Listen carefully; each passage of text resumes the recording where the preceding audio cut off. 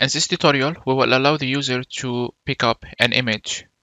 So in order to do that, we need a package. So in here, let's search for image picker. And it will be the first one, image underscore picker. And of course, it's null safety support. So let's go. And it supports Android, iOS, and web.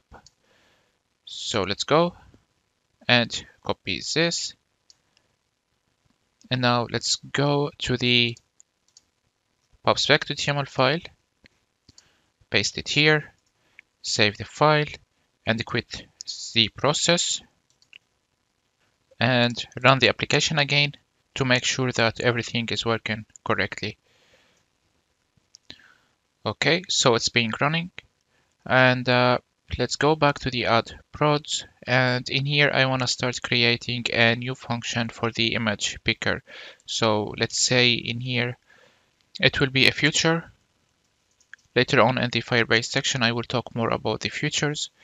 So let's say future void of type void and let's say in here pick image.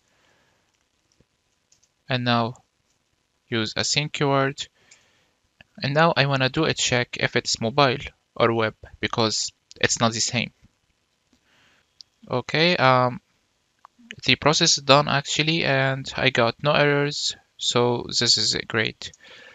Okay, um, let's continue. And now to do if uh, a check about if it is uh, a web or not it's very simple. There is something called k is web just like this. So the first case I want to check if it's mobile.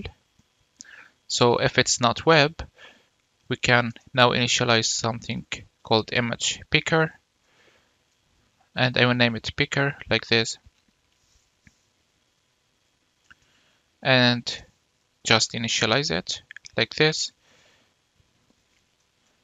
And then we need uh, to initialize something of type XFile, which is can be null. So in here we need to await the picker that we just initialized and called pick image function to it and we need to specify the source which is can be camera gallery so on. Like this. Of course in our case will be uh, it will be a gallery. So now we need to do a check about this image. So let's check it if it's null. We can return or we can directly check if it's not null and do the work. So let's do it like this and I will initialize something called selected and it will be file to get the image path. So uh, let's get the image path like this. And for this file, we need to import something. So let's import dart.io like this. And, and now we need to use this image. So in order to use this image, we need to initialize something. So let's initialize a variable of type file. So let's go up and in here, let's say file picked image. I will name it like this.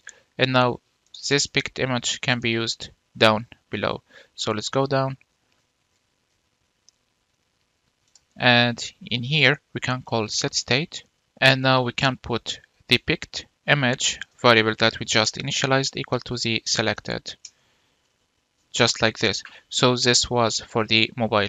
Now we can do else. We can show an error for example or just print something or just return. Um, we can I will just print. No image has been picked like this. Now for the this if statement, so now the web case, so I will say else if kIsWeb, we will do almost the same work. So I will copy all of these and paste it here. So what I want to do first is uh, to get rid of uh, this in here and start writing the code. So I will initialize var, I will name it f, and uh, let's await it and say image dot read as bytes. because the type will be different. It will be, soon you will know how it will be. So in here we call set state and now we need another variable similar to the picked image in here. So uh, in here we need to initialize something called uint8 list of this type because it's a web image so it's like this. And let's initialize it to a value. We can initialize it to 8 and I will keep it near 8 like this. Now we can use this web image in here. So let's say web image and put it equal to f like this now later on to avoid errors about picked image and to avoid confusion let's put the picked image to file A. Now this one is not important, but we can do it like this. It's, it's fine to avoid any other errors. And it will be like this. And uh, the final else, it will be, I will do something, we can just return or we can print something else. So print, let's say, uh, something went wrong like this. Now we can use this method and in order to use it we can use it for the dotted border that we initialized in here.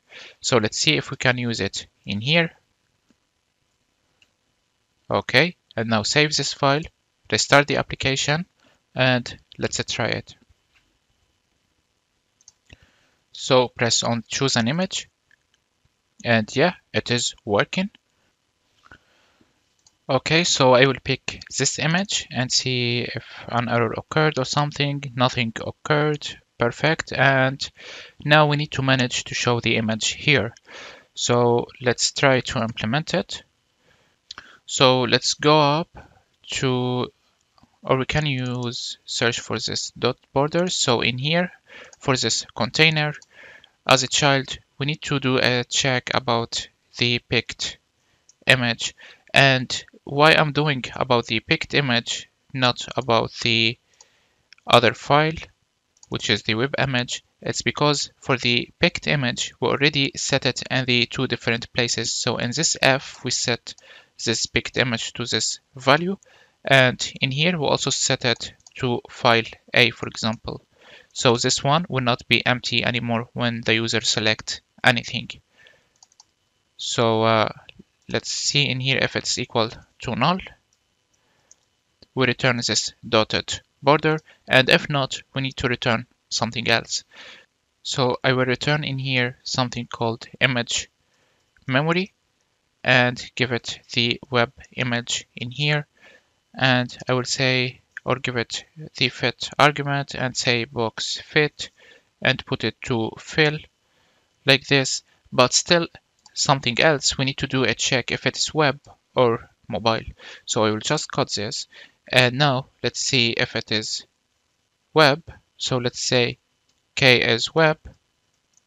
We do like this. And if not, we just show the image dot file and give it the picked file like this. And of course, we need to do an alt check. And for the fit, I will say fit and give it box fit dot fill just like this. Now I will save it and then restart the application and let's see what will happen. Let's try to choose anything. And here it is, it appeared like this. So uh, no error occurred. And when I uploaded an image it appeared like this